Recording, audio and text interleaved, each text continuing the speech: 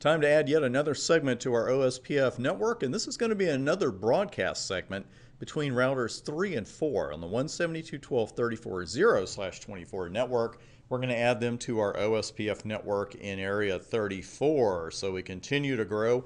Router 3 now is going to have three separate OSPF adjacencies, and I've already tested the connectivity between routers 3 and 4. We're ready to go there. So apparently I didn't test whether that was slid over or not.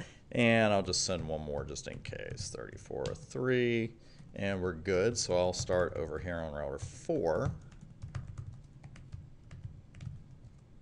I'll try 34 there. We'll go with area 34. Same on router 3.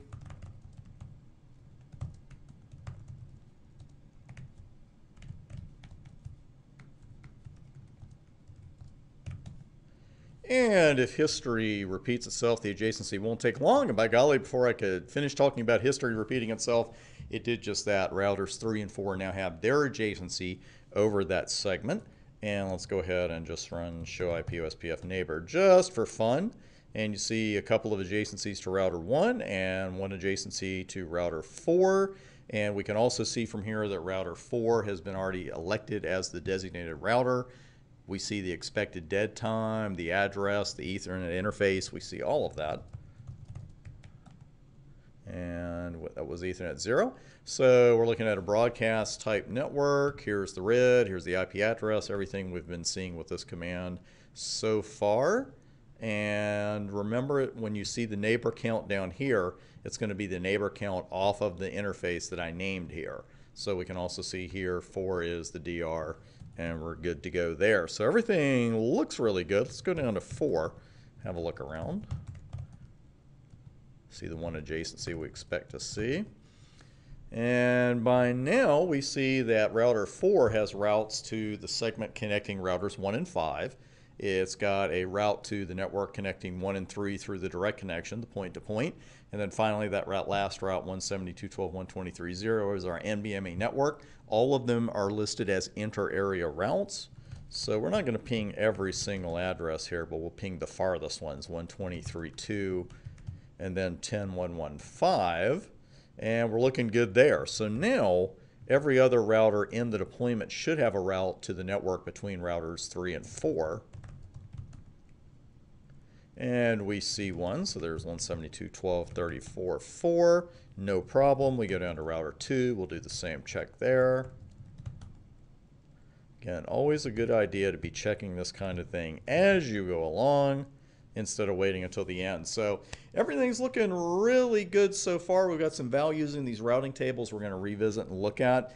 But the thing is, we've got the routes, we've got the pingability, and we like that. So what we're going to do now is something I promised you a couple videos back, and that's to add the loopbacks to every, uh, that are on every single router to our OSPF network. So you see we're going to get even a little larger, and you can also see why I did not put the interface types here in the diagram. We're starting to run out of space. What we'll do, and I'm actually going to pause the video. It's no use in you watching me enter five network statements. You know how to do that. I'm going to be using all zeros uh, wildcard masks here. And that's because our loopbacks, when I created them, are all slash 32s, 1111 slash 32, etc.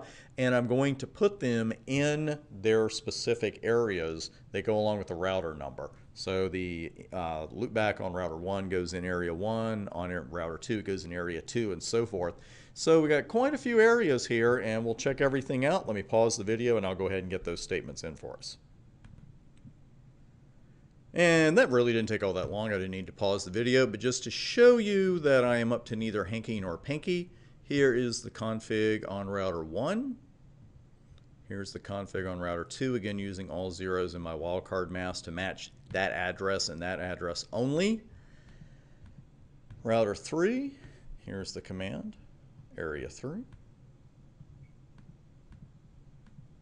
That voice sounded like an old elevator operator. Third floor, ladies lingerie. Router OSPF1, network 4, all wildcards, area 4. And router 5, everything's in area 5, or actually that one address is in area 5. So everything's looking good there. Let's, while we're on router 5, let's go ahead and start having a look around. We didn't have any new adjacencies, so we don't have to check those out. And our tables are getting larger and larger. So we see three loopbacks. How many loopbacks should we be seeing right now in the OSPF table? On each router, we should be seeing four because one of them, of course, is going to be connected to whichever router you look at. So that's kind of odd. Let's go ahead and just send a couple of pings around here. And we can ping these perfectly fine. And can we still ping the segment between routers 3 and 4, the 34 network? Yeah, it's looking good. So that's kind of odd that we don't have router 4's loopback here in our router 5 routing table because we can revisit here and I do have the right command. And you know what could happen is that I forgot to put loopback 4 on router 4. So let's go check that out. We're on 4. And there it is, you know, IP address 4444 slash 32, exactly as we expect. And sorry for that pause. Apparently, Richmond International is rerouting airplanes very close to the top of our building.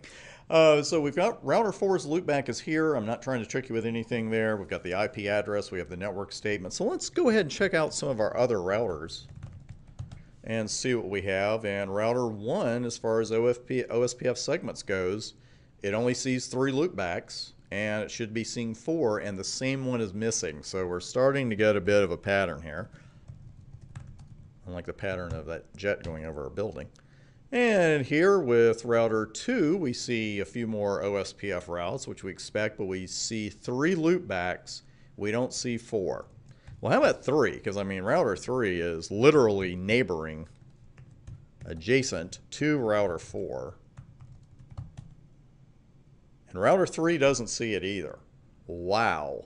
So none of the routers right now see router 4's loopback. I mean, router 3 is super adjacent to router 4. So what exactly is going on here? You've likely already doped it out, but it does go back to that question that I've asked a couple of times about the different areas as we were building them. You know, are we going to have a problem here with the rule of the physical or logical connection back to area zero? Well, I didn't ask it after these five areas, but now we're running into a problem because area four does not contain an interface on a router that also has a physical or logical connection back to area zero. Router 4 doesn't have an interface in area zero, and it's the only router that has an interface in area 4. So this is what I was talking about, and I know I've mentioned it a couple times, but the reason that I really want to bring this to your attention is that notice that everything else is perfectly fine. We didn't get any kind of message from the router on router 4 when I did that network command saying, hey, you're violating this rule.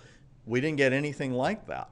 And when we went to all of the other routers and looked in the routing tables, it's not like we didn't get any console messages, any warnings, anything like that at all. And we were able to ping all the other loopbacks. So this is you got to watch this rule because when we violate certain other rules in Cisco land, let's face it, you know, the router tells us or the switch tells us, you know, hey, did you know this? Or you run a debug and you get something. I could have debugged this to death and I really wasn't going to see a problem but the issue right now, again, is Area 4 on Router 4 is violating that rule. And if we can't have a physical connection back to Area 0, which it would be hard to do right now, then we could create a logical one. We've created plenty of physical connections, but what I want to introduce you to coming up next is what we call an OSPF virtual link.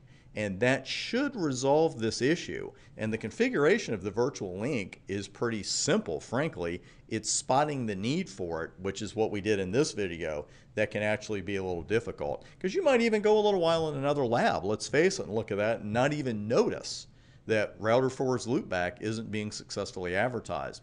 But now that we've noticed it, in the very next video, at the very next beginning of the next video, we are going to fix that situation. I'll see you there.